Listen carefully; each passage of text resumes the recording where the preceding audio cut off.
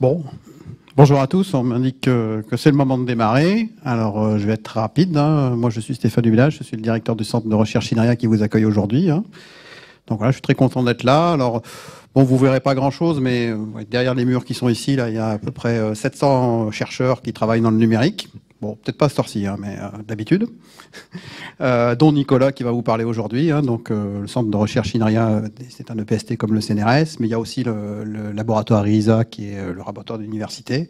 Voilà, tout ça sur le même site et ces 700 personnes travaillent sur plein de choses, notamment sur le transport optimal, dont vous avez toujours rêvé de savoir plein de choses. Et je passe la parole à Nicolas qui va vous raconter tout ça. Merci. Ok, donc euh, bonsoir à tous. Voilà, moi je suis Nicolas Courty, je suis euh, professeur en fait de l'université de Bretagne Sud et euh, en fait je travaille sur deux équipes du centre INRIA, IRISA en fait. Je travaille dans l'équipe Panama et dans l'équipe Obélix parce que je suis en demi-délégation à, l'INRIA cette année. Mais bref, en fait le sujet de ce soir là c'est transport optimal et sciences des données.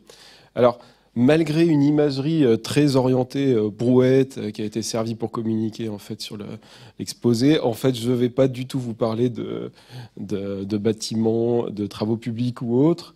Donc on va essayer, on aura quand même quelques, métaphores qui resteront là, mais on va plutôt parler de, de proba et de, de machine learning.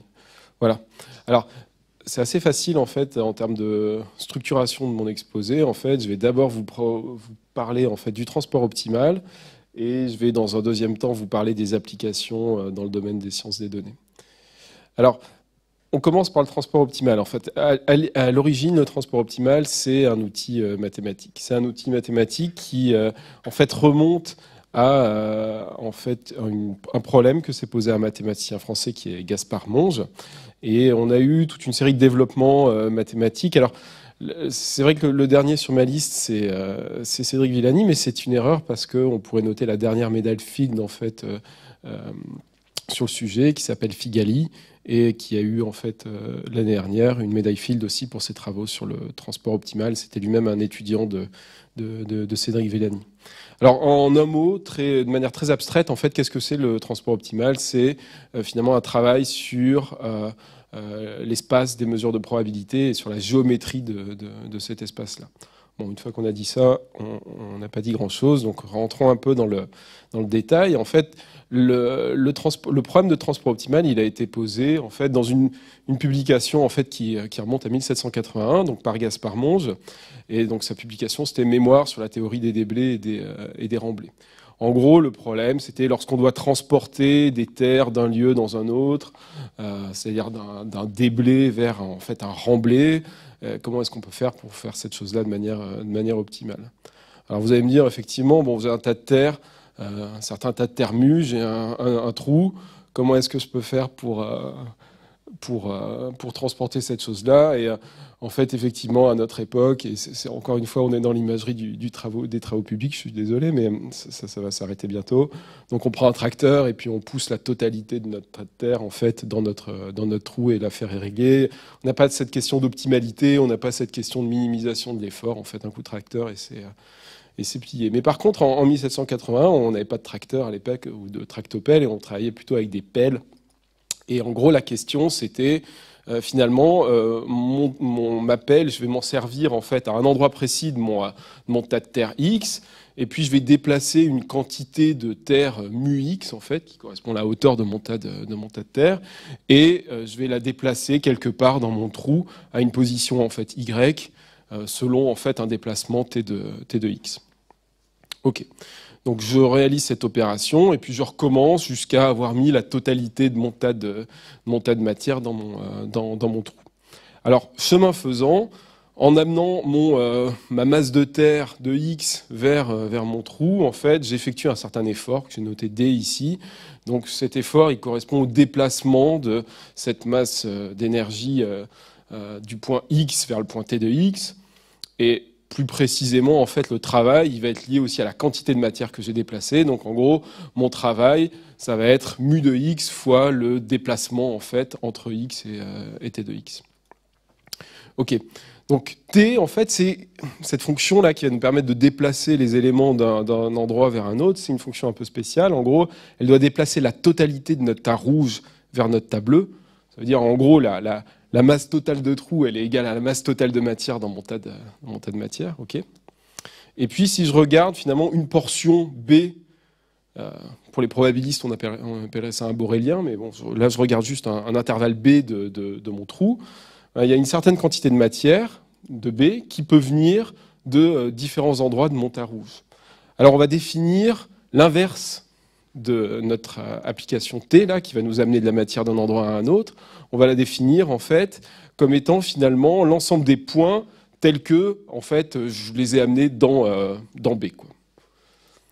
Alors, cet ensemble de points, il peut venir de différents endroits, en fait, il peut venir de différents intervalles, de différents segments, etc. A1, A2, A3, noté, noté ici. Et donc, la totalité, si je fais la, la somme de la matière dans un, plus dans un 2, plus dans un 3, ben je vais obtenir en gros le volume de, trous, euh, de correspondants. Donc c'est quelque chose qu'on pourrait tout à fait noter euh, euh, simplement par cette, simple somme. Là encore, hein, je pense que les, plus probabilistes d'entre vous ont reconnu en fait l'utilisation des notions de mesure et puis de, théorie de la mesure. Si ça vous est inconnu, n'ayez pas peur, c'est pas pas important pour la suite. Ok. Donc, je peux regarder en fait euh, différentes zones B de mon, euh, de, mon trou, et ce que je vais finalement noter en fait, c'est que la masse contenue dans n'importe quelle partie B de mon trou, ben, c'est la masse en fait que j'ai dans la préimage de, euh, mon bout de trou dans mon, tas de, mon, tas de terre, mon tas de terre mu. Ça, c'est ce qu'on va noter par la suite comme étant un, opérateur en fait, dit push forward, un opérateur qui va pousser ma matière, donc T, et un push forward qui va pousser mu vers, euh, nu. Ok. Et ce push forward, on le retrouvera dans la suite avec la notation dièse, là encore qui est assez euh, connue des, des probabilistes. Donc T, en fait, pousse mon tas mu dans nu. Et la vraie question qu'on se pose, et qui est centrale à tout problème de transport optimal, c'est bah, quel est ce T qui va pousser mu dans nu et qui va être tel qu'on va minimiser le coût total, l'effort total qui va être engendré par, cette, euh, par ce, déplacement. Donc vous voyez, cet effort total, là, il est représenté par mon intégrale.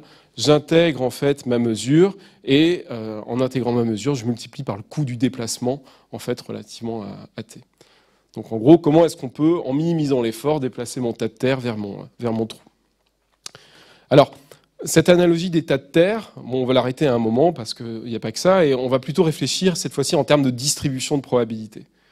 On peut exactement visualiser nos deux trous comme étant deux distributions de probabilité. J'ai gardé les mêmes codes couleurs, rouge et, bleu.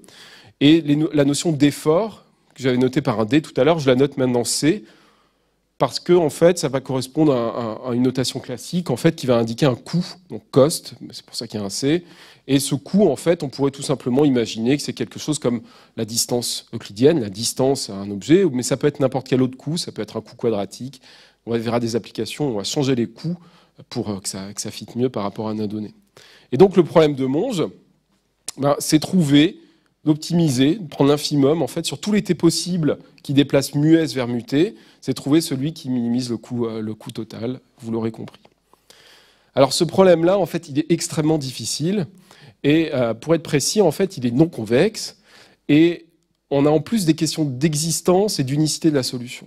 Alors, existence, est-ce qu'il est toujours possible. Enfin, unicité, commençons par l'unicité. Est-ce qu'il y a toujours une seule solution pour, mon, pour monter ou est-ce que parfois j'ai un ensemble de solutions? Dans cet exemple-là, vous voyez, ma masse, elle est concentrée sur une droite et puis euh, mon nu, en fait, est une autre droite perpendiculaire. Quelque part, j'ai deux manières de, bouger ma, Terre qui sont équivalents du point de vue de l'effort. Donc là, c'est un contre-exemple à l'idée d'unicité de, euh, de, de, ce mapping.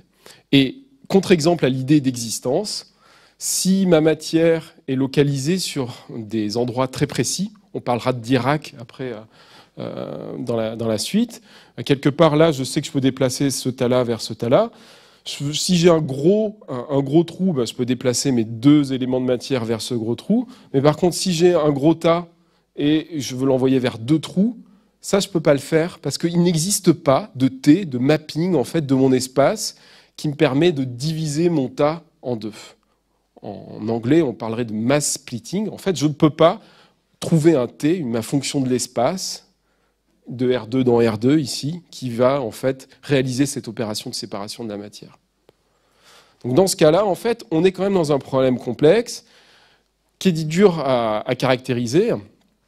Calculatoirement, il est dur à évaluer aussi. Et euh, on est bon. Alors il y a des cas précis. Donc euh, Brégnier en fait a trouvé des cas où quand on prend quand on a en fait des trous qui sont continus, des mesures continues en fait avec densité, et qu'on a un coût qui est en gros la distance euclidienne au carré, on sait qu'il existera toujours un t. Et ce t, on peut même le caractériser comme le gradient d'une fonction convexe, mais on ne rentre pas dans les détails, mais voilà, il y a des cas particuliers où on est capable de caractériser l'existence et l'unicité de, de ce transport. Mais dans le cas général, c'est plus difficile.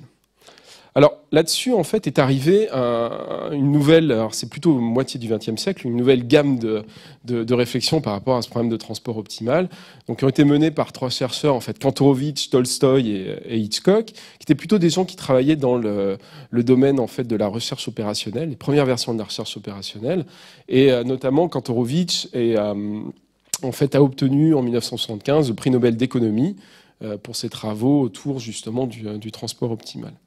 Alors, intéressons-nous un peu au, contexte, en gros. Euh, donc, ça date, en fait, euh, ces travaux, ils datent de la Seconde Guerre mondiale. Et en, Russie, en Seconde Guerre mondiale, vous savez, c'était, la guerre. Et euh, les questions opérationnelles, en fait, de recherche opérationnelle, étaient d'abord aussi motivées par des questions un peu, on va dire, très concrètes de, de logistique opérationnelle sur le front. Et la question en fait de Kantorowicz était ben, finalement j'ai euh, trois zones sur le front où je suis censé envoyer à peu près 120 troupes, 90 troupes et 90 troupes. Et puis j'ai des réserves en fait avec 60, 90 et 150 euh, troupes. Donc comment est-ce que je fais pour envoyer ben, la quantité d'hommes qu'il me faut sur le, sur le front? Alors dans ces cas-là, en fait, il y a une solution assez simple qui consiste à regarder les proportions.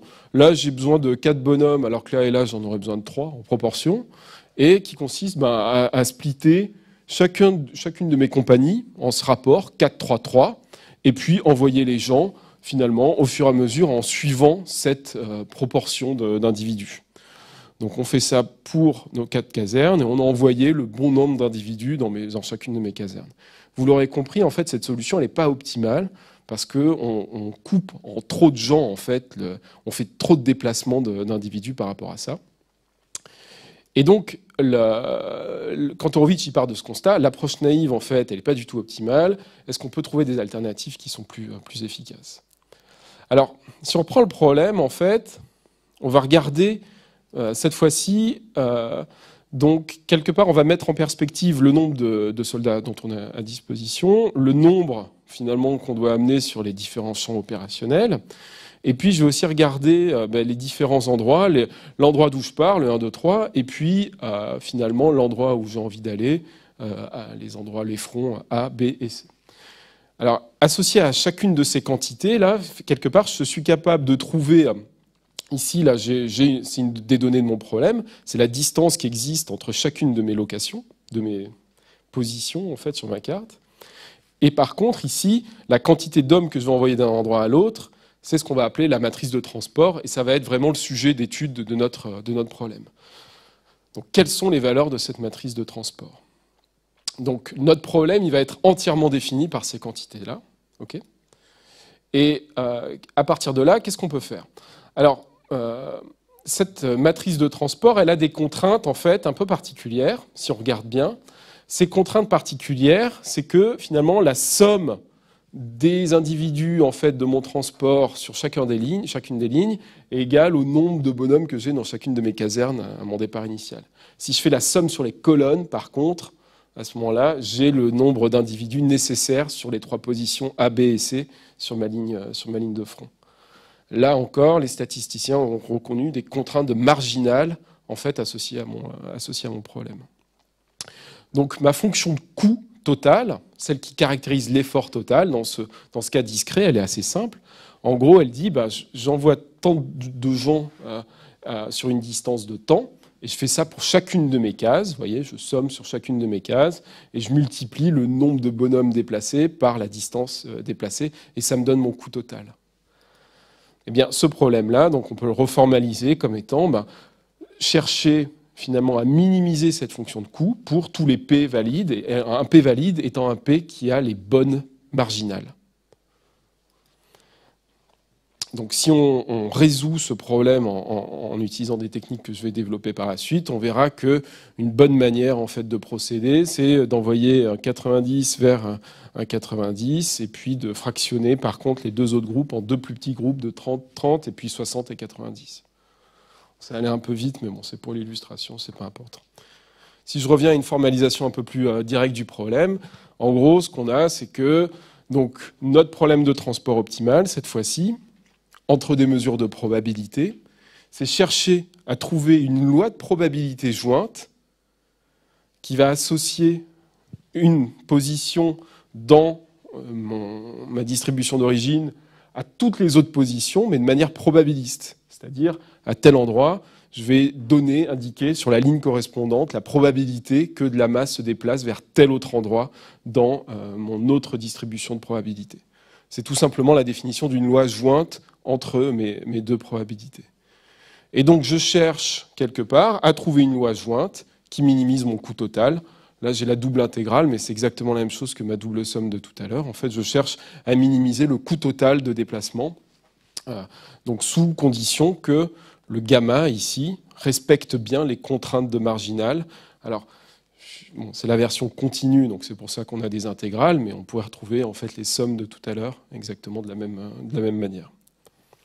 Alors, ce problème-là, si on regarde bien, si, euh, j'imagine que c'est le cas, vous avez tous fait déjà un tout petit peu d'optimisation, vous reconnaîtrez en fait un problème d'optimisation linéaire en fait, j'ai un coût ici, et puis euh, je multiplie avec, euh, par mes inconnus. Donc, je cherche en fait mes inconnus qui sont impliqués dans une relation de, minimisation, et avec une contrainte d'égalité sur mes inconnus, qui est particulière, qui est cette contrainte en fait de fait que mes marginales soient, soient dans le bon, euh, soient, soient les bonnes. Donc ça, c'est un programme linéaire, tout simplement. Et un programme linéaire, ça a toujours une solution. Donc c'est bien, je peux vous la donner, même si vous en cherchez une de tête. Vous pouvez tout simplement prendre pour gamma, vous pouvez prendre en fait euh, la loi jointe qui correspond à l'indépendance entre mes deux distributions, donc le produit en fait de chacune de mes distributions, produit extérieur de mes distributions. Ça, ça sera toujours un plan admissible, et du coup j'aurai toujours au moins une solution qui est celle-là à mon, à mon problème d'optimisation. Alors, on va aller directement vers un premier exemple en fait dans le domaine des sciences des données. Dans ce contexte-là, c'est euh, un exemple pour comparer en fait des phrases. Alors, je change un peu de niveau de discours, mais je pense que vous allez tout de suite voir un peu l'idée. Il y a beaucoup de gens qui se sont posés la question de comparer des, euh, bouts de phrases. Est-ce qu'on peut avoir des comparaisons qui ont du, euh, qui ont du sens en fait? Donc, on pourrait en fait comparer en, euh, comparer. Là, j'ai deux phrases. Je vais essayer d'être un peu plus clair sur la définition du problème. J'ai deux phrases, donc avec, j'ai juste fait ressortir les mots saillants, donc pas les mots de liaison, etc. Obama speaks uh, to, the media, media in, Illinois, Illinois, and the president greets the press in Chicago. Donc j'ai quatre mots à chaque fois. Greets, presse, Chicago, Illinois, Obama, président. Vous voyez qu'il y a des relations en fait qui, qui existent. Si on cherche à trouver une métrique entre ces deux phrases, on peut utiliser une métrique de transport optimal. Comment on va faire? En fait, on va définir une fonction de coût qui va tout simplement traduire la similarité sémantique entre mes mots. Pour ça, on peut utiliser des plongements de mots comme ce qu'on appelle des word embedding, qui vont mesurer la similarité entre chaque mot. Et la comparaison totale, la distance totale qui existera entre mes deux phrases, ça sera tout simplement trouver le meilleur matching entre chacun de mes mots, être capable d'aligner mes phrases, et après ben, faire la somme bah, de toutes les distances qui restent entre les mots qui sont, euh, alignés. Cette méthode-là, là, c'est ce qu'on appelle le word mover distance, c'est quelque chose qui est extrêmement utilisé en traitement du, euh, en traitement du langage. Et donc là, ce qui est important de comprendre, c'est que le coût qu'on utilise, en fait, c'est la distance sémantique entre des, euh, entre des mots. OK. Alors, je vous ai parlé de Kantorowicz, mais je ne vous ai pas encore parlé de Wasserstein. Donc, Wasserstein, c'est un, un mathématicien qui est, toujours en vie, qui est aux États-Unis, et qui a donné son nom, mais bon, il y a une controverse sur les noms, mais on ne va pas rentrer dans les détails, qui a donné son nom tout simplement à cette, euh, cette métrique. Alors, vous reconnaîtrez exactement la formulation du problème de Kantorowicz, sauf que dans, dans le problème de Kantorowicz, on s'intéressait à la matrice qui nous permettait d'envoyer d'un endroit à l'autre. Mais ici, on ne regarde pas la matrice, on regarde la valeur de notre fonction objective. Et euh, ce qu'on définit comme étant la distance de Wasserstein, c'est tout simplement cette, cette, valeur en fait, de coût total de déplacement. Alors, c'est une distance, je ne rentre pas dans les détails ou la preuve, etc., mais c'est le fait que ce soit une distance, ça veut dire qu'on a les différentes propriétés importantes de la, distance, donc c'est important, et surtout, c'est une distance entre des mesures de probabilité. je vous donne tout de suite un exemple assez intéressant euh, et significatif sur cette question de distance. Vous voyez, là, j'ai une distribution source en rouge, et puis là, j'ai une, une distribution qui lui ressemble, en fait, une gaussienne, qui est exactement pareille, mais qui se déplace. Quelle est la valeur de la distance entre ces deux distributions bah, Si j'utilise une distance classique type euclidienne ou une distance type variation totale, bah, quelque part, dès que le support de mes deux gaussiennes va être disjoint, ma distance, elle va être constante. En gros, je euh, j'associe les éléments directement et puis je fais la, différence. On voit bien que quand les supports sont disjoints, en fait, ma distance devient constante. Et par contre, si je regarde la distance de Wasserstein, elle est croissante avec le déplacement de, euh, de, de. Ça, c'est extrêmement intéressant, parce que si vous avez déjà eu envie euh, de rétropropager des gradients, par exemple, basés sur une distance entre des, des mesures de similarité, ben vous savez que quand vous êtes là, votre gradient il est nul et vous ne savez pas dans quelle direction aller, alors que quand vous êtes sur quelque chose qui est euh, strictement croissant avec l'éloignement, ben là, par contre, vous avez des, des gradients qui sont significatifs. C'est notamment une des raisons en fait, du succès de l'utilisation des méthodes de transport optimal dans un contexte des modèles génératifs. Et ça, je, vais vous en parler un petit peu tout à l'heure. Alors, bien sûr, vous allez me dire, OK, euh, qu'est-ce que c'est qu'une distribution de probabilité? Ben, on a, souvent les deux vues en fait, qui sont utilisées en transport optimal. La, vue la plus classique que vous connaissez peut-être la, plus, c'est euh, l'histogramme. L'histogramme, finalement, il va vous indiquer en fait donc l'histogramme, c'est la vision eulerienne et il indique en fait, pour une discrétisation régulière de votre espace, ben, la proportion d'individus présents dans cette, discrétisation. Donc dans ce cas-là, en fait, vous avez une masse de probabilité associée à chacune de vos discrétisations de l'espace. Par contre, on peut aussi avoir cette vision des distributions de probabilité, qui est la vision dite lagrangienne. En gros, une mesure de probabilité dans ce cas-là, ça va être une collection de, de Dirac qui seront situés en différents points de l'espace euh, et, on va leur associer une masse de probabilité qui est 1 sur le, nombre, total de, Dirac, de samples qu'on a dans notre, dans notre espace. Vous voyez, a ces deux visions-là qu'on utilisera de manière interchangeable dans la, dans la suite, qui euh, souvent, quand on manipule des données, quand on a un jeu de données, on est dans cette vision en fait lagrangienne de, de nos jeux de données. Ok. Alors, Première considération, c'est un petit peu technique, euh, mais je vais essayer de vous expliquer euh, euh, en deux mots ce que ça veut dire. L'espace des mesures de probabilité menu, pardon, l'espace de ces distributions, donc muni de cette métrique de Wasserstein, est un espace en fait qui a une structure riemannienne sur laquelle on peut définir des géodésiques. Alors ça, c'est une propriété extrêmement intéressante. Ça veut dire que je peux chercher à interpoler entre deux mesures de probabilité en suivant finalement le chemin le plus court au sens de la distance de Wasserstein. Et vous voyez, ce qui est intéressant, c'est que si j'interpole entre deux gaussiennes ici, ben, le résultat de mon, mon interpolation, ça va être une gaussienne qui se déplace dans mon espace. Là, c'est la même figure représentée en 2D. Et ici, c'est la même chose sur un visage. Alors que, vous voyez, si je fais la même chose, si je regarde la géodésique dans un espace euclidien, bah, quand j'interpole entre deux gaussiennes, si vous avez déjà fait expérience, il y en a une qui descend, l'autre qui monte. Et c'est exactement ce qui est représenté ici. Vous voyez, il y en a une qui disparaît, qui s'efface au profit de l'autre. De même, si vous interpolez des visages dans l'espace euclidien, vous allez avoir des faux contours, des fausses bordures, etc. En 2D, en fait, ce qui est intéressant, c'est qu'on a en fait cette idée de déplacement de la masse, et c'est pour ça que cette notion de géodésique, est très importante euh, en, en transport optimal. Alors, cette géodésique, comment est-ce qu'on peut l'exprimer Tout simplement, c'est l'idée du, barycentre, en fait. On va chercher en fait une mesure. Euh, juste par curiosité, c'était quoi l'interpolation entre les visages? Ça se basait sur. Euh, Donc, ouais. Donc l'interpolation entre les visages, c'est vraiment une interpolation. On cherche la mesure qui en fait minimise la distance à chacune des deux, euh, des, deux conditions extrêmes, donc en, suivant un schéma linéaire ici.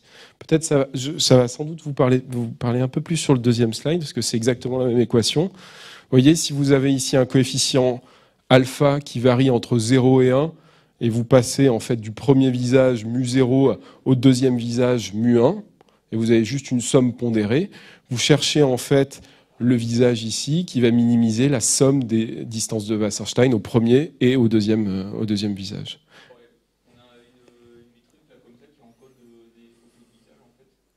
Alors c'est juste en fait un, déplacement de matière. Donc c'est la, la, métrique utilisée, c'est Wasserstein, euh, et, c'est tout quoi. Ouais, ça répond à votre question, ouais. Ok. Alors cette question-là du, barycentre, elle est extrêmement intéressante. En gros, c'est est-ce qu'on est capable déjà de, bien caractériser cette quantité d'un point de vue mathématique? Il y a des résultats là-dessus. Et, qu'est-ce qu'on peut faire avec cette chose-là? Alors, je vous présente un premier exemple. C'est l'équivalent des visages, mais avec des formes 3D. Cette fois-ci, en fait, on a des barycentres qui sont définis en fait avec des coefficients euh, relatifs au sommet de mon triangle. Puis on voit que chacun des, éléments de mon barycentre, en fait, il déplace la matière pour passer d'un élément à, à l'autre. Et je vous propose maintenant une autre application assez intéressante qui va intéresser les, machines, plus machine learners ou statisticiens entre vous. C'est l'idée de transporter cette question de l'analyse en composantes principales dans euh, cet espace des distributions de probabilité. vous savez, quand vous faites une analyse en, Bon, j'ai considéré que c'était le prérequis de, la session, j'aurais dû le, dire explicitement, mais voilà, vous devez savoir ce que c'est qu'une ACP. Je ne reparlerai pas de ça aujourd'hui, mais donc dans une ACP, en fait, on cherche les directions qui vont impliquer le plus de changements dans notre, dans notre information, quoi, les directions orthogonales. On peut avoir la même idée, mais euh, sur un espace riemannien. Dans ce cas-là, on parle d'analyse en géodésique principale. Et euh, en gros, ce qui change le plus, c'est la métrique qui est utilisée donc, vous voyez, en fait, si je prends un, dataset avec plein de zéros, par exemple, un dataset avec plein de 1, et que je fais une ACP classique en utilisant une métrique euclidienne, je vais obtenir des modes de, de variation de mes données qui, finalement, sont pas très significatifs parce que là, là, je me déplace le long de mes modes et ce que je vois, c'est que par exemple sur le, le, zéro, ici, j'ai des fusions de zéro exactement, exactement pour les mêmes raisons. Tout à l'heure, avec ma distance euclidienne, j'avais une, espèce de mélange de mes données qui n'était pas très naturel. Si par contre, j'utilise cette métrique de Wasserstein qui en gros déplace ma matière, à ce moment-là, j'obtiens des modes de variation qui sont beaucoup plus significatifs. Par exemple, sur le 1, là, on voit clairement que le premier mode, il encode une certaine rotation dans mes, euh, dans, dans mes 1. Alors que là, le, premier mode de déplacement, là, le long de ma, géodésique principale, ici, il, recadre mon 4 et puis il, il, les tire un petit peu dans mon, dans mon espace. Ça, c'est des choses qui sont hum, un petit peu étudiées, euh, très intéressantes sans doute, avec pas beaucoup d'applications encore dans le domaine, euh, du, monde, du monde réel. Ok, alors je ne vous ai pas du tout parlé d'aspects calculatoires, mais je vais quand même vous en parler un petit peu. Il y a des choses intéressantes à dire sur ces aspects-là. Tout d'abord, on peut regarder le cas de figure où notre mesure, elle n'est pas dans un espace à plusieurs dimensions, elle est seulement sur une droite, sur R. Dans ce cas-là, il est intéressant de noter que si notre mesure, en plus, est une collection de, points, ben, il y a une solution très très simple au problème de transport optimal qui consiste en fait à trier mes collections de points. Vous voyez ma mesure, j'ai une mesure bleue et puis euh, une mesure en jaune, jaune rouge ici. Et une fois que j'ai trié mes points, ben, j'ai directement mon association. C'est-à-dire, je sais que le premier point va aller avec le deuxième, enfin le premier point dans l'autre distribution. Le deuxième va aller avec le deuxième, le troisième avec le troisième, etc. Je sais que la solution, en gros, de mon problème d'appariement, de couplage, c'est tout simplement le résultat d'une opération de, tri entre, entre mes points. Donc ça, ça veut dire que si on regarde la complexité calculatoire, on est en n log de n pour euh, réaliser tout simplement les tris euh, des, samples qui, qui constituent mes, distributions. Ça, c'est pas mal. Et euh, si on va un peu plus loin et qu'on regarde des mesures continues, qu'est-ce que ça veut dire? Quelque part, il y a un lien qui est fait, qui est net avec les distributions cumulatives. En fait, quand je, fais un, quand je, je, cherche à calculer le transport entre mes deux points. En fait, la valeur du transport, c'est l'air qui existe entre mes deux euh, fonctions cumulatives associées à mes deux euh, distributions. Je sais que je vais un peu vite là-dessus. Je pense que certains d'entre vous ont, capté l'intuition. Vous voyez, quand j'écarte mes gaussiennes, ici, j'écarte l'air entre mes fonctions cumulatives. Vous pouvez me croire sur parole, et on en rediscutera tout à l'heure si vous n'êtes pas du tout d'accord avec ce que je viens de dire. Mais par contre, bon, le vrai cas intéressant, c'est qu'est-ce qui se passe quand on est en, quand on n'est pas dans ce cas 1D, quand on est en, plus grande dimension, etc. Donc le problème, par contre, je reste dans, le cas discret cette fois-ci. Donc j'ai une collection de, de, points, et cette fois-ci, je cherche à trouver mon couplage. Mon couplage, il est exprimé comme étant hein, une matrice, cette fois-ci, qui est de taille nombre de points euh, dans ma distribution source fois nombre de points dans ma distribution cible.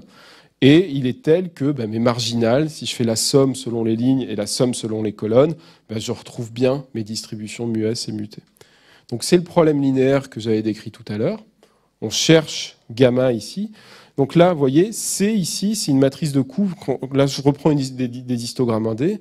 Et cette matrice de coûts ici, elle, dit tout simplement, ben, si je veux aller de, du bin i au bin j, ici, quelle est la distance, par exemple, euclidienne que je vais avoir entre les, euh, deux.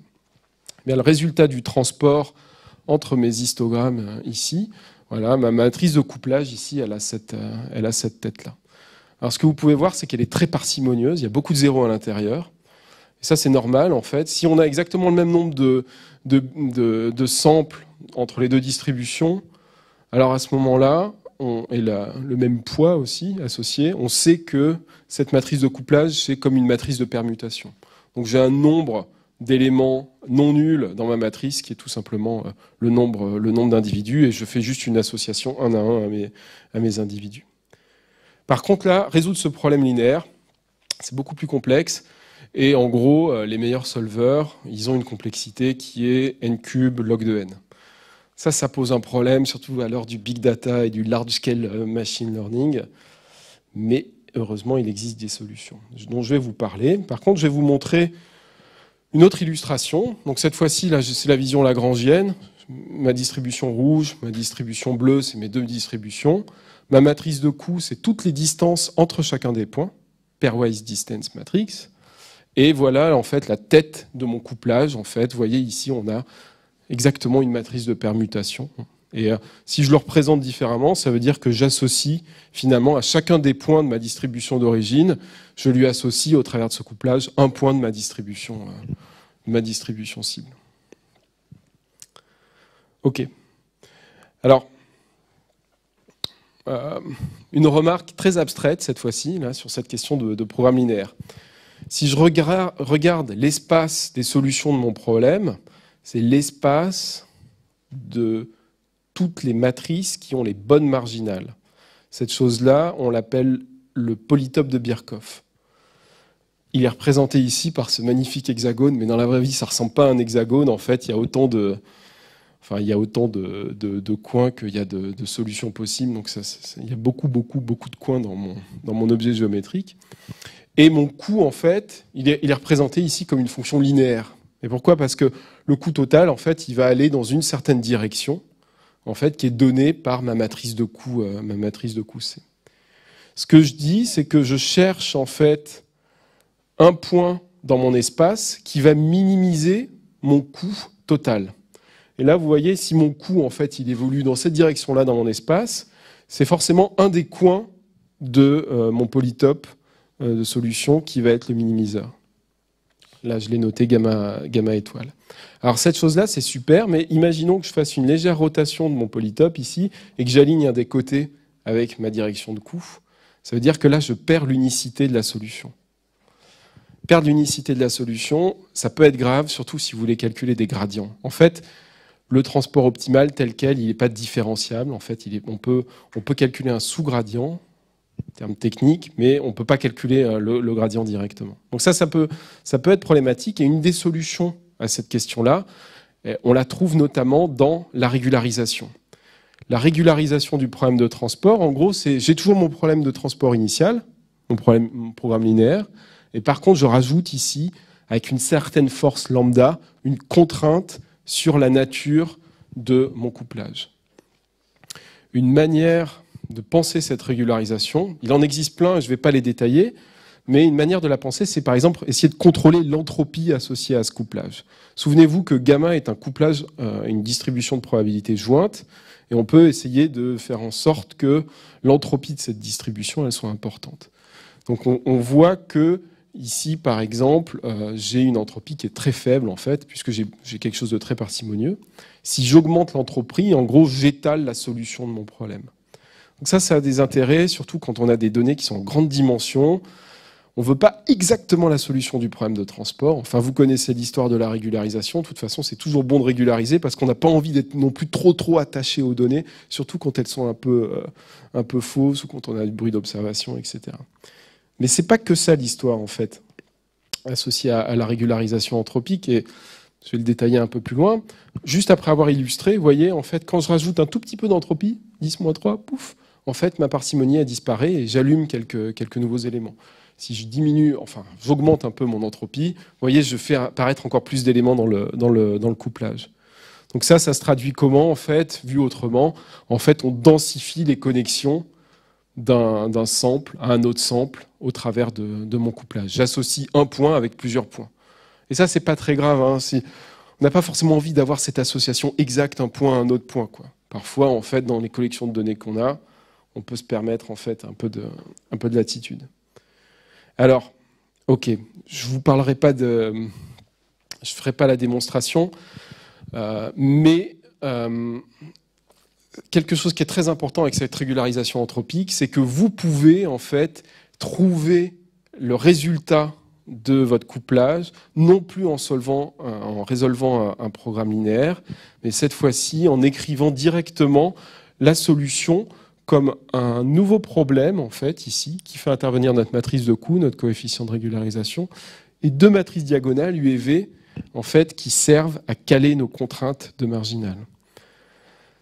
Dit autrement, c'est ce qu'on appelle le théorème, l'algorithme de Sinkhorn-Knopp, cette chose-là. Et ça nous dit quoi? Ça nous dit, bah, OK, je construis exponentielle de moins ma matrice de coût divisée par lambda, et je vais la multiplier par un, en fait un scaling, une mise à l'échelle à gauche pour aligner ma marginale d'un côté, et je vais la multiplier euh, à, droite, et à gauche par un autre scaling qui va lui chercher à faire en sorte que ma, marginale en fait de gauche fonctionne, euh, fonctionne bien.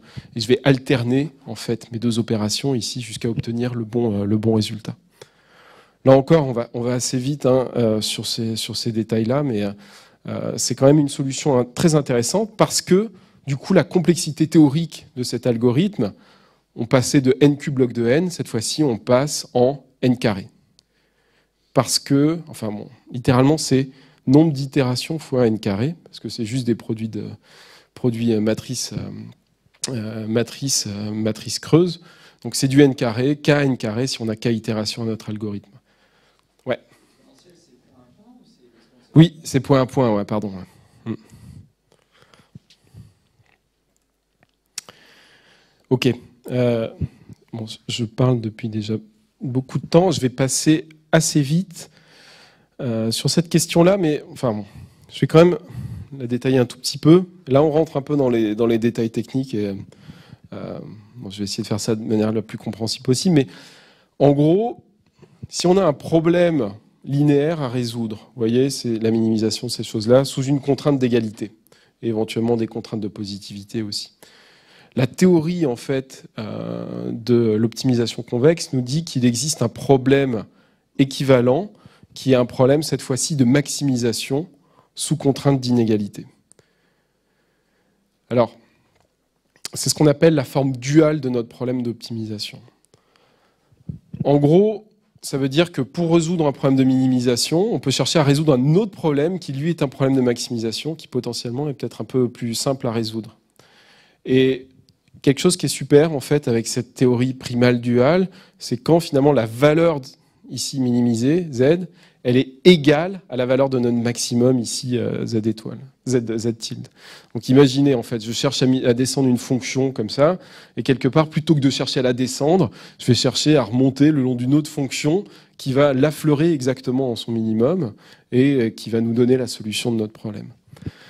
Alors je vous passe les détails, mais quand même, il y a quelque chose qui est assez beau avec le transport optimal, et c'est ce qu'on appelle la dualité de Kantorovitch, c'est que notre problème équivalent dual du programme linéaire que je vous ai présenté jusqu'à présent, c'est un problème qui a cette forme-là.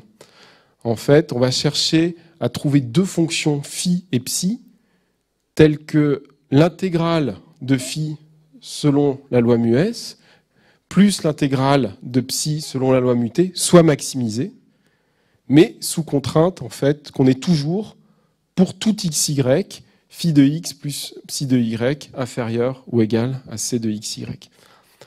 Alors vous allez me dire, à ce stade-là, ok, euh, bon, Courti, tout ça, euh, Meetup, ML, c'était sympa jusqu'à ce qu'il nous parle de dualité, et puis là, on n'a plus rien compris.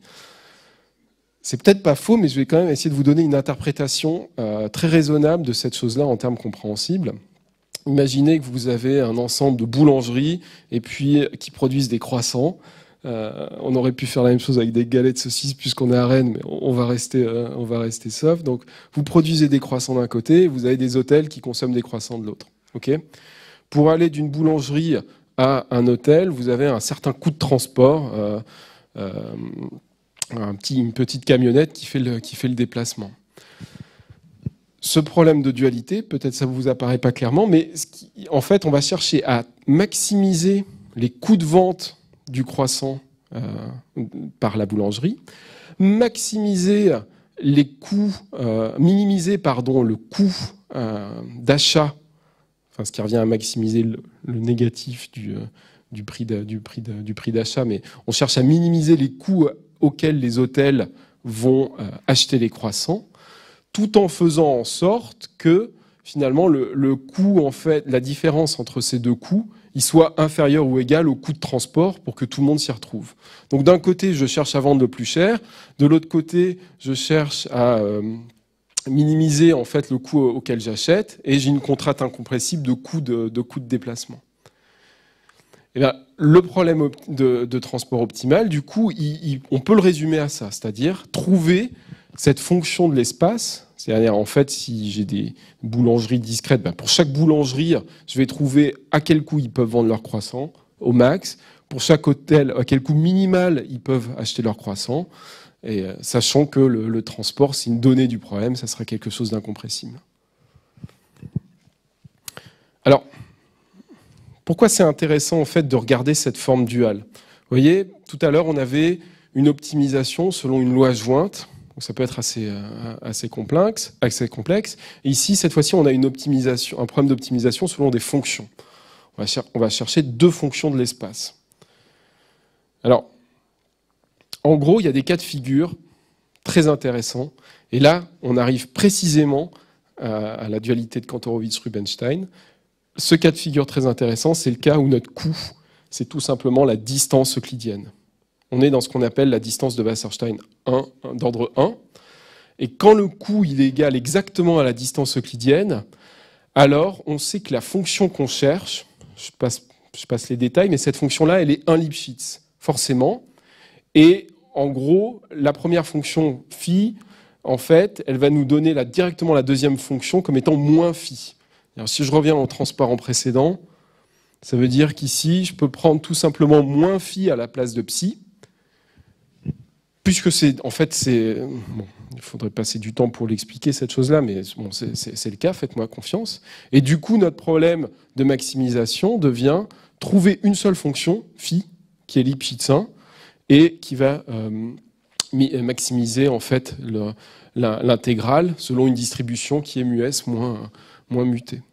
Et dit autrement, cette chose-là, on peut le réécrire comme ça, je vais chercher phi qui va maximiser, en gros, l'espérance sur mes données X, euh, sur mes données sources, moins l'espérance de la même fonction sur les données, euh, cibles.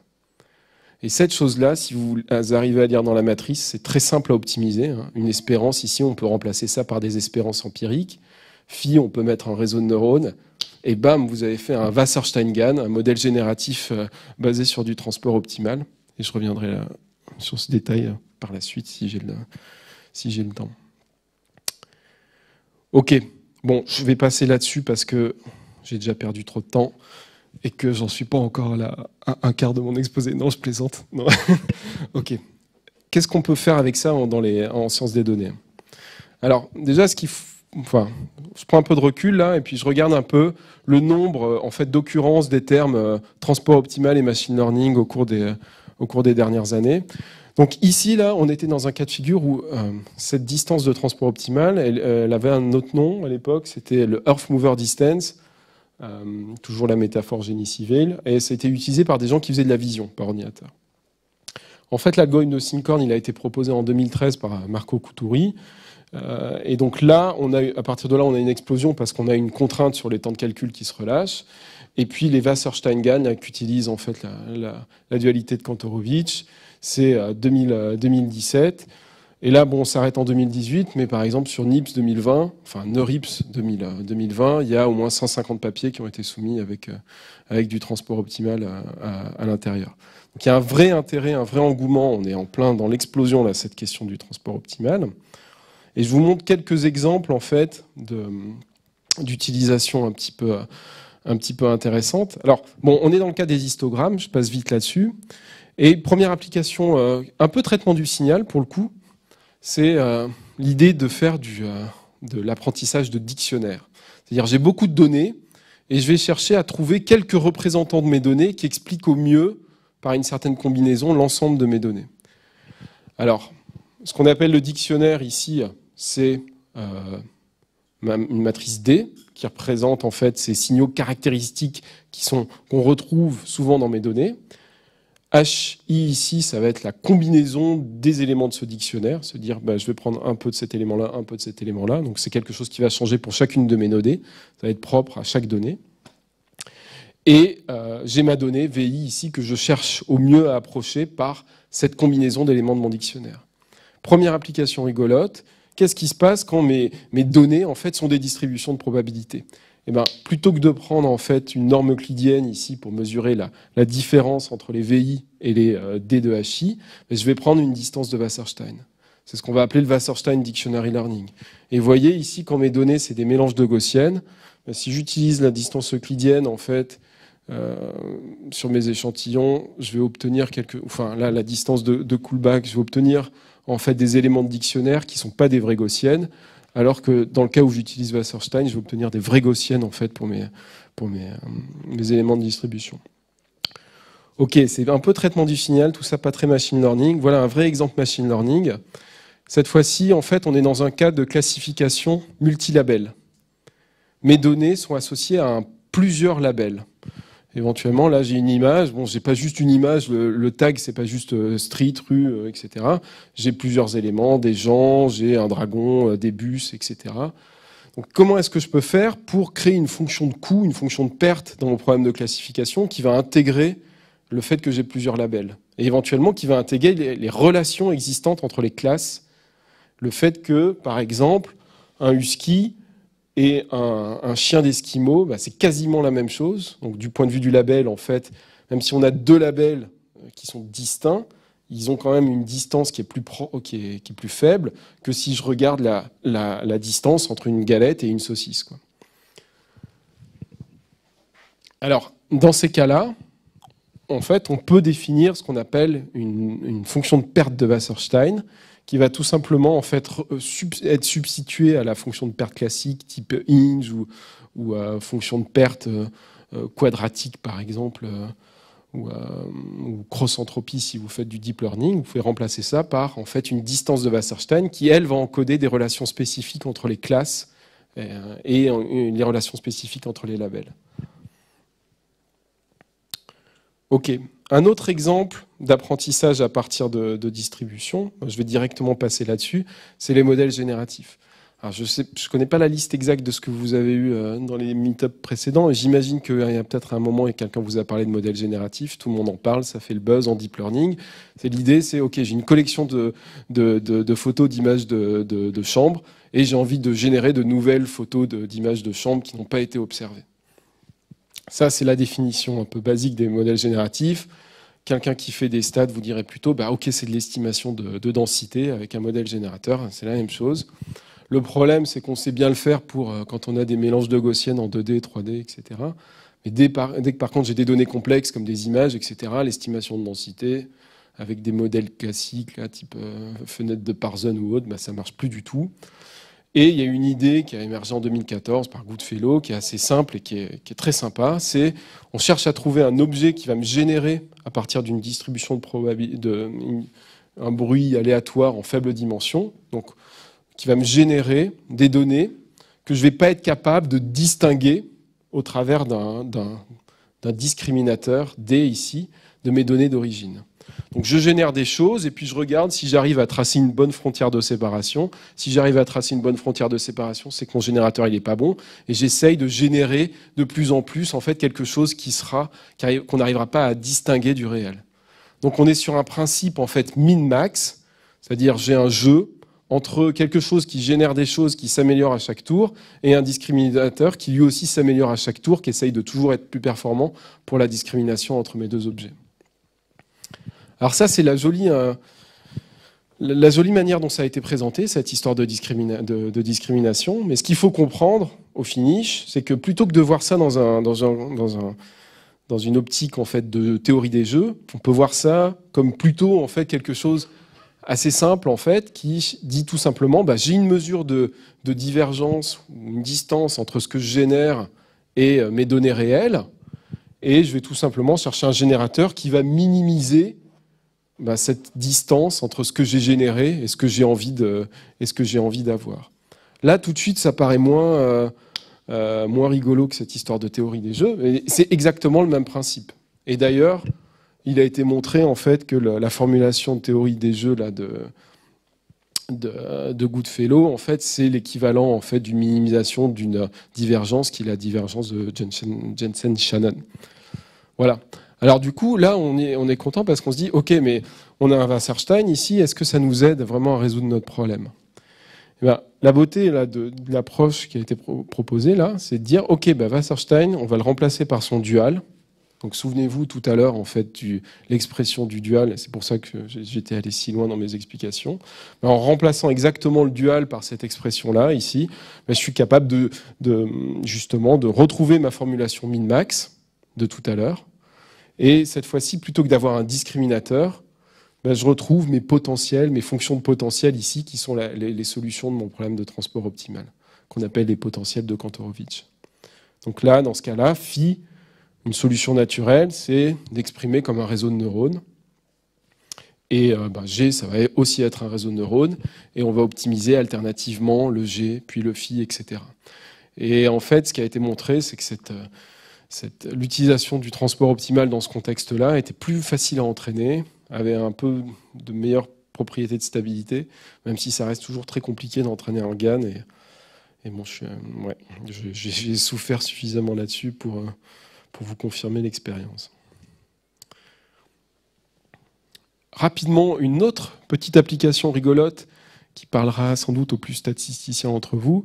Vous avez tous fait peut-être de l'analyse discriminante de Fisher. Vous savez, en gros, vous cherchez à trouver en fait une manière euh, d'écarter en fait des classes qui sont euh, qui sont différentes et au contraire de rapprocher des éléments qui sont à l'intérieur d'une d'une même classe au travers d'un d'une projection des données, ben on peut formuler exactement le même problème avec du Wasserstein. Donc dans ce cas-là, vous voyez, en fait, je vais chercher en fait à faire en sorte que deux données qui sont dans des classes différentes, C et C', en fait, soient le plus éloignées possible au travers d'une distance de Wasserstein. Donc je cherche la projection de mes données qui maximise en fait cette quantité-là, mais je divise par un ratio qui est en fait l'écartement pour à l'intérieur d'une même classe. Je veux que mes données soient le plus concentrées possible pour une même classe. Figurez-vous qu'un cas limite de cette chose-là, si on utilise la régularisation anthropique pour le transport optimal, quand lambda tend vers l'infini, en fait, cette chose-là, ça tend vers euh, la méthode discriminante de Fischer. Et par contre, si on est dans des régimes moins, on va dire, coercitifs, on a des résultats, en fait, en termes de, performance qui sont bien meilleurs, pour des raisons que je ne détaille pas maintenant, mais euh, il y a tout un papier avec une analyse euh, théorique de cette, de cette question-là. Voilà, ça c'est le résultat de ma projection en 2D. Typiquement, en fait, euh, ouais, bon, je ne détaille pas, j'ai pas le temps. Alors, combien de temps? J'ai déjà trop dépassé, 20h05. rapidement, du coup, parce que je voulais vous parler d'adaptation de domaine. Alors, la question c'est, OK, dans la plupart des problèmes que je vous ai montrés jusqu'à présent, on calcule un couplage entre mes données. Ce couplage, il établit finalement des relations existantes entre, certaines données, mais en aucun cas je vous ai dit, ben, on est capable de remonter à cette, fameuse fonction de, de, Monge là, du début, t, qui me déplace mes points d'un espace à l'autre. Est-ce qu'on est malgré tout capable d'estimer quelque chose qu'on appellerait en fait un mapping cette fameuse monge map. Alors je vous montre une solution très simple, très cheap, mais qui nous a beaucoup été utile pour un, problème que je vais vous présenter après. C'est l'idée en fait du barycentric mapping. Le barycentric mapping, il dit quoi? Il dit mes points, je vais les déplacer tout simplement en regardant en fait mes connexions. Si par exemple là, Ok, en fait j'ai déjà prévu les slides, je suis un peu bête, voilà.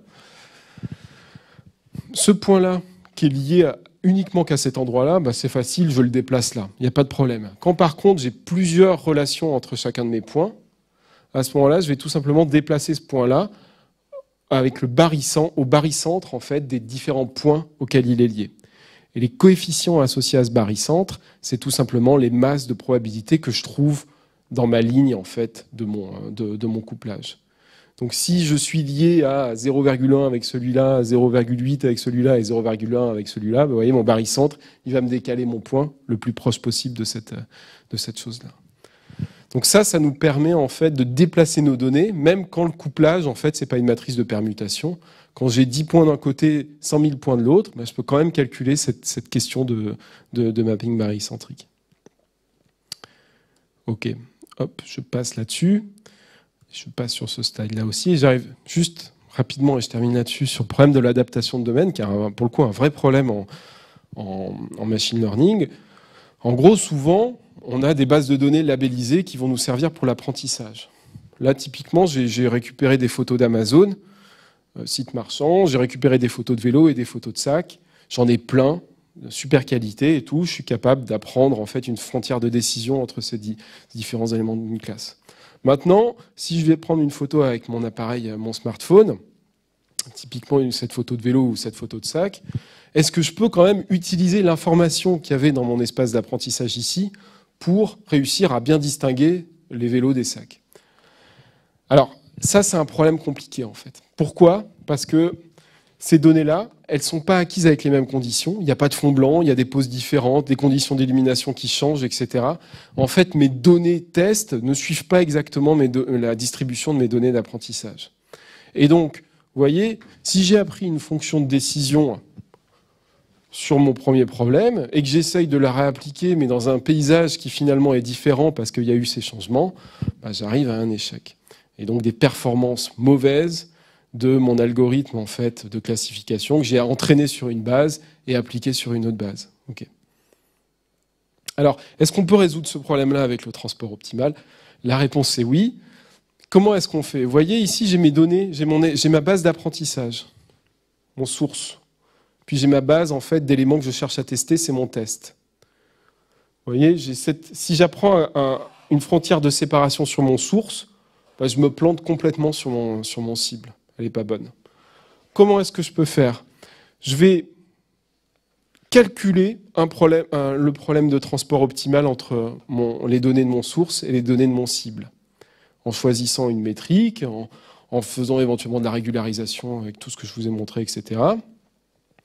en faisant d'autres types de régularisation dont je n'ai pas parlé, mais je calcule un transport optimal. À partir de ce transport optimal, je déplace mes points en utilisant le, le barycentric mapping dont je viens de vous parler. Donc, c'est-à-dire que j'obtiens une version de mes données sources qui sont proches, en gros, de mes données, euh, de mes données cibles, de mes données target. Mais par contre, j'ai conservé mes labels. Et donc maintenant, je peux apprendre un nouveau classifieur sur mes données sources qui ont été transportées et euh, trouver un nouveau classifieur qui, cette fois-ci, hopefully, va marcher sur mes données, euh, sur mes données cibles. Donc ça, c'est l'adaptation de domaine par transport optimal. Ça marche super bien. Ça a été repris dans d'autres contextes, avec d'autres formulations. Je sais que vous avez eu un, exposé, enfin peut-être pas vous, mais dans un meet-up sur l'adaptation de domaine. La distance de Wasserstein, elle peut être aussi utilisée dans un contexte type deep learning pour en fait avoir une fonction de perte dans euh, ce que vous optimisez à la fin pour séparer en fait au mieux la représentation des données dans les, euh, dans les réseaux. Ça, c'est des choses sur lesquelles on a bossé. On, avait un papier NIPS en 2017 sur cette question. À ECCV l'année dernière, on avait un autre papier qui étendait cette chose-là au, deep learning. Mais j'arrête là parce que je vous ai déjà donné beaucoup, trop d'informations. J'arrive directement à la conclusion. Et je reprends ma, brouette de départ. En gros, le transport optimal, c'est un outil extrêmement puissant euh, pour manipuler des distributions qui peuvent être empiriques. J'ai pas beaucoup insisté là-dessus, mais le fait qu'elles soient empiriques, c'est intéressant. Il y a beaucoup de gens qui font du paramétrique. D'abord, j'estime une gaussienne, un mélange de gaussiennes, etc., ou j'estime n'importe quel type de distribution. Là, on, on manipule directement les données. Donc, c'est ce qui fait la force du transport. Après, OK, il y a un coût calculatoire qui n'est pas négligeable, mais il y a des solutions. Je vous en ai présenté certaines. Il y en a d'autres qui sortent un peu tous les jours en ce moment. Donc, il y a des solutions. Et bon, je vais aussi omis de parler de plein de choses très intéressantes, mais je n'avais pas le temps, notamment en fait sur les notions de transport non balancé. Donc dans ce cas-là, en fait, imaginons qu'on a un gros tas de sable et un petit trou. Donc on veut savoir quelle est la partie du tas de sable en fait que je vais mettre dans mon trou. Donc là, le transport non balancé, c'est quand fait les masses, les quantités à droite et à gauche correspondent pas. Et quelque chose qu'on affectionne beaucoup en ce moment euh, dans l'équipe, là, c'est ce qu'on appelle le Gromov-Wasserstein. Là, c'est comparer des distributions de probabilité qui ne vivent pas dans le même espace métrique. En gros, dans tout ce que je vous ai montré, on était toujours capable de calculer le C, le, coût de se déplacer d'un endroit à l'autre. Mais qu'est-ce qui se passe si mes données ne sont pas dans les mêmes espaces métriques? Si j'ai un, vecteur de dimension 100 et un vecteur de dimension 10, par exemple, je ne peux pas calculer de coût. Je ne peux pas trouver en fait de cette notion d'optimalité que j'ai dans le Wasserstein de base. Gromov Wasserstein en fait sert à, résoudre ce genre de problème et on s'en sert pour travailler sur des données structurées type graphe et avoir des distances sur les, sur les graphes.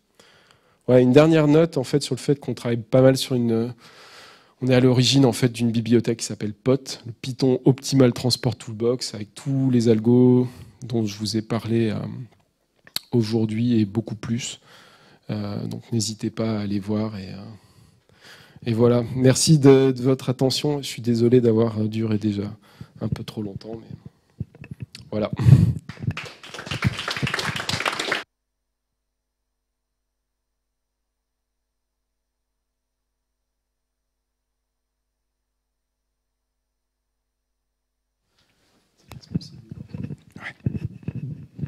Qui a une question que je lui tende le micro J'ai pas entendu. Là. Bonjour, merci, c'était très bien. Euh, j'ai une question par rapport à la fonction de coût, notamment la, distance qu'on utilise. Euh, tu as parlé principalement de distance euclidienne, bah, je crois. Si on revient dans l'exemple un peu après encore, après, sur le domaine adaptation en 2D. Ouais. Ouais, on voit bien là la distance euclidienne, elle va pas être adaptée parce que parce qu'on cherche un peu une rotation entre les, euh, les deux espaces dans lesquels elles vivent. Comment, comment on fait pour... Euh, là, c'est une, opération simple, une rotation, mais ça peut être plus compliqué, j'imagine.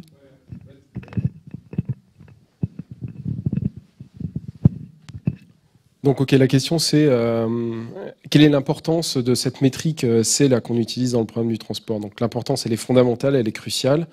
Clairement, en fait, certaines distances vont pas être adaptées pour certains problèmes. C'est particulièrement le cas tu as cité cet exemple, mais c'est le cas quand tu compares des images, par exemple. Si tu si as une, collection d'images et que tu essayes de comparer deux images en faisant la distance euclidienne entre les vecteurs des images, cette distance-là, elle est peu informative. Donc une idée, c'est de euh, calculer finalement une métrique qui est la plus intéressante pour ton problème. Donc c'est faire du metric learning. Mais une manière de faire cette chose-là de manière intéressante, si vous faites du deep learning par exemple, c'est plutôt que de prendre la distance dans l'espace original, vous prenez la distance quelque part dans l'embedding en fait de votre réseau de neurones. Et là, vous savez que vous allez avoir une métrique qui va avoir plus de sens pour représenter les, objets. C'est typiquement ce qu'on fait en adaptation de domaine avec du, deep learning. En fait, on va chercher notre information de métrique, non pas directement dans les données, mais dans des représentations intermédiaires des données dans les, dans les réseaux de neurones.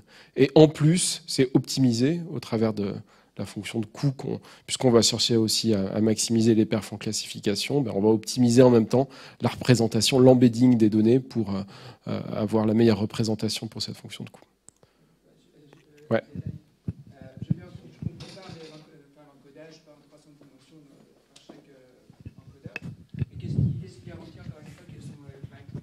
Tu peux répéter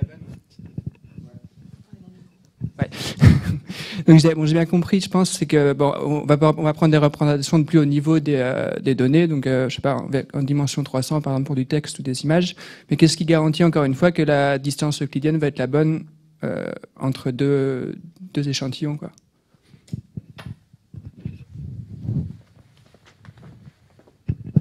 Alors rien. Et je ne suis, pas en train de faire l'avocat de la distance euclidienne. Hein. N'importe quelle distance euh, qui colle bien aux données fera l'affaire. Si tes données elles sont sur une variété riemannienne, bah, tu prends la distance géodésique et, et tant mieux.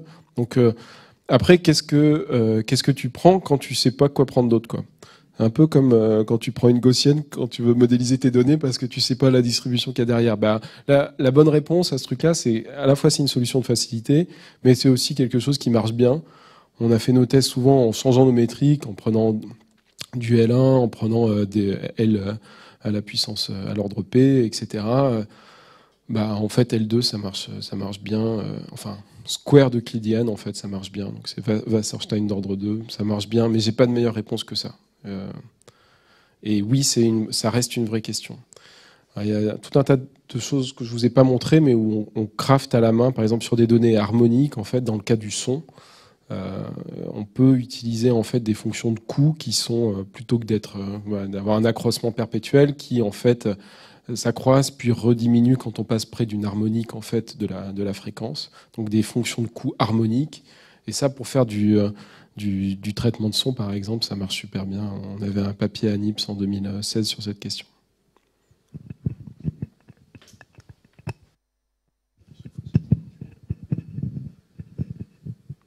D'autre?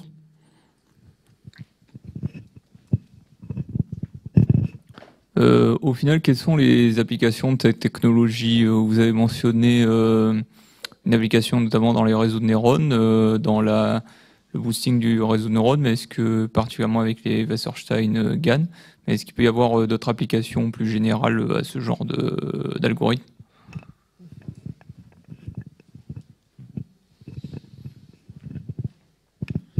Alors, il y a deux manières de, répondre à cette question. Euh, la première manière, c'est que le, transport optimal, c'est aussi un outil pour comprendre euh, ce qui se passe. Notamment, en fait, il y a pas mal de gens qui s'intéressent au transport optimal dans un contexte d'explication de la causalité euh, dans le problème de, de, sciences de données, donc extraire des causalités. Là, notamment, il y a les travaux de Léon Botou, en fait, euh, qui travaille chez, Facebook actuellement sur ces questions-là. Donc c'est avant tout un outil théorique assez puissant pour aussi trouver des bornes, etc., trouver des, modélisations des problèmes qui, euh, qui font sens. Et d'un point de vue des applications, je dirais qu'il y en a, énormément d'autres que le Wasserstein-GAN. Donc j'ai parlé de, transport, d'adaptation de, domaine, mais euh, euh, j'ai aussi parlé donc, de l'utilisation de Wasserstein comme une, fonction de perte pour euh, de l'apprentissage. Là, en ce moment, par exemple, euh, enfin nous précisément, on travaille sur le transport optimal pour des modèles adversaires. je ne rentre, pas dans les détails, mais il y a énormément d'applications possibles autres que Wasserstein-GAN. Et autres que la simple utilisation du transport optimal comme un outil d'étude théorique. Est-ce que, enfin, je suis pas sûr de répondre exactement. Euh.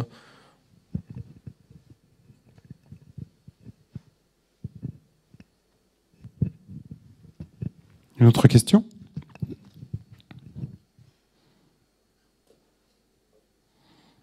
Ça a l'air d'être bon. Camille, tu veux dire le mot de la fin? Mais Merci beaucoup, euh, Nicolas. Pour, euh, moi, j'ai trouvé que c'était un super exposé, vraiment. Euh, alors, du coup, après, il va y avoir un petit pot euh, en bas que nous allons installer. Et ça va être le dernier meet-up euh, de l'année scolaire. Nous allons nous revoir après euh, au mois de septembre. Et encore une fois, je voulais remercier aussi, en plus du speaker, Inria, qui nous a, ben, qui nous ont accueillis dans, dans ces locaux. Et c'est vrai que, bon, comme tout est gratuit, le meet-up, etc., c'est aussi euh, ben, la volonté de personnes. euh, Hugues de Gorin, euh, de Thalès, Jean-Félix aussi pour la vidéo. Et, donc voilà, c'était important de, pointer cela. Donc encore merci beaucoup aussi de votre participation. Et je vous souhaite de très très bonnes vacances. voilà.